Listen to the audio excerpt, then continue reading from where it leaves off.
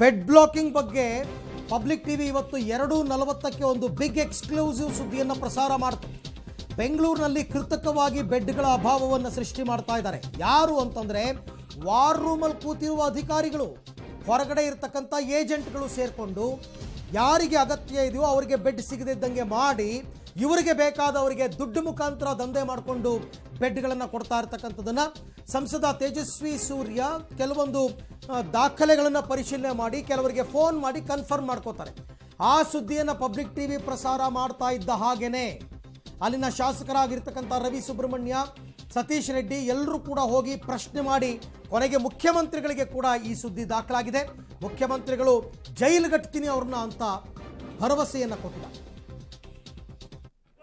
Sir ಬೆಂಗಳೂರಿನಲ್ಲಿ bed ದಂಧೆ ನಡೆದಿದೆ. ಬಿಬಿಎಂಪಿ ಅಧಿಕಾರಿಗಳೇ ಬೆಡ್ ದಂಧೆನ ನಡೆಸಿದ್ದಾರೆ ಅನ್ನೋದು ಪಬ್ಲಿಕ್ ವ್ಯೂ ವರದಿ ಮಾಡಿದ್ದಾರೆ.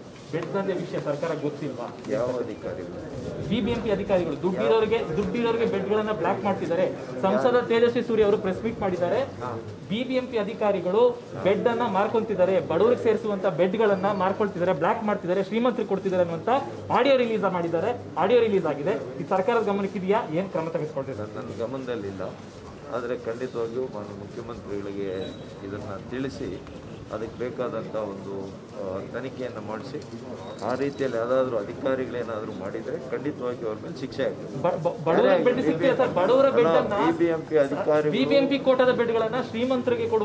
ಅರೆಸ್ಟ್ ಯಾರೇ ಯಾರೇ ಅಧಿಕಾರಿಗಳು ಈ ರೀತಿಯಲ್ಲಿ ತಪ್ಪು ಮಾಡಿದರೆ ಅವರಿಗೆ ಶಿಕ್ಷೆ ಆಗಲೇಬೇಕು. ಸರ್ಕಾರಕ್ಕೆ ಇಷ್ಟು ದಿನ ಗಮನಕ್ಕೆ ಬಂದೇ ಇಲ್ಲ ಸರ್? ಬೆಡ್ಗಳ ಕೊರತೆ ಇದೆ ಅಂತ ಹೇಳ್ತಾ ಇದ್ದೀವಿ ಇಷ್ಟು ದಿನ ಗಮನಕ್ಕೆ ಬಂದೇ ಇಲ್ಲ ಸರ್ಕಾರಕ್ಕೆ? ಆರೋಗ್ಯ ಸಚಿವನಾಗಿ ನಾನು ಏನು ಮಾಡಬೇಕು ಅದನ್ನು ಮಾಡ್ತಾ ಇದ್ದೀನಿ. ಬೆಡ್ ರಿಸರ್ವೇಷನ್ ಮಾಡೋದು ನಾವು ಮಾಡ್ತೀವ? ಡಿ ಬಿ ಎಂ ದೇವ್ರ ಕಡೆ ಮಾಡ್ತಾರೆ. ಅವ್ರನ್ನ ಕೇಳಬೇಕಾಗ್ತದೆ ಆಯುಕ್ತರು ಅದಕ್ಕೆ ಉತ್ತರ ಕೊಡ್ಬೇಕು ನೀವೇನು ಅವ್ರ ಕ್ರಮ ತಗೋತೀರಿ ಸರ್ ಇವಾಗ? ನಾನು ಮೊನ್ನೆ ಮುಖ್ಯಮಂತ್ರಿಗಳಿಗೆ ಕಂಪ್ಲೇಂಟ್ ಕೊಡ್ತೀನಿ ತಾವು ಹೇಳಿರೋ. Thank you thank you Sudhakar ಅವರು ಬಟ್ ಅಷ್ಟು ಈಸಿಯಾಗಿ ತಗೊಳ್ತಕ್ಕಂಥ ಸುದ್ದಿ ಅಲ್ಲ ಇದು.